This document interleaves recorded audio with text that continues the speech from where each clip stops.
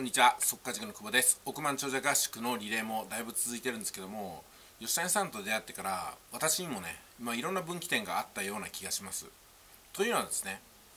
同じ時期に始めた方途中から始めた方私より前にやってる方いろんな方がこの情報業界インターネットビジネスの世界にいるんですけども例えばね体調を壊したとかね他にもっと大事な仕事ができたとか家族が人間関係がっていうところで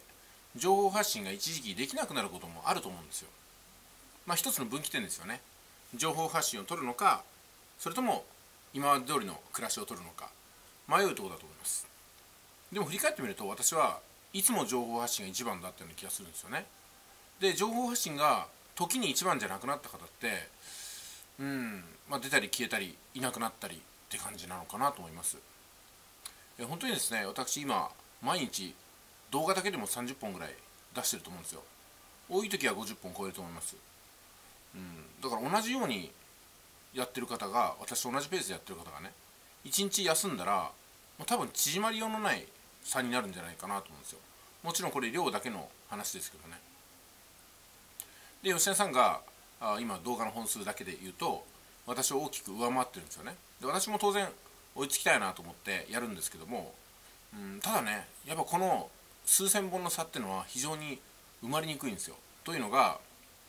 2人ともやってるからなんですよ。で吉田さんが1週間ぐらい寝込んで何もしないってことは考えられないんでまあね追いつくの大変だなと思ってますけどもでも10年後ぐらいには、うん、いやもっと言ったらね動画アップロード本数10万本をゴールとするときにね、まあ、中間ゴールですけどもそこで私が先にゴールインすることはなくはないんじゃないかなってかすかな希望を持ちながらまあそんなことを普段忘れながらね自由に動画発信させてもらってます。返す返す残念なのは同じ時期に始めた方が今いないってことなんですよ、うん、まあ、だからねそのただやるだけでももう差はつくんですよ。ただやるだけですよ。同じことをずっと YouTube なら YouTube ずっとやる。でそこにはものすごい自由な時間と自由なお金がある。なのに続かないんですよね、私はこれからもねあの自分がやることであ俺もやんないとって思える人が出てくることを、まあ、願いながらねどんどん進めていこうかと思います、うん、まあ気負わずでもくじけず負けず嫌いにこれからも行こうかなと思います。山口陸さんよかったらこのリレーに参加してください。行ってきます。